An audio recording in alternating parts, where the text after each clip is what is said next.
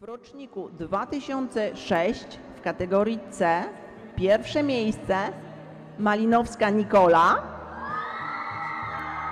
drugie miejsce Domagała Joanna, trzecie miejsce Zbroja Julia, czwarte miejsce Wysocka Aleksandra.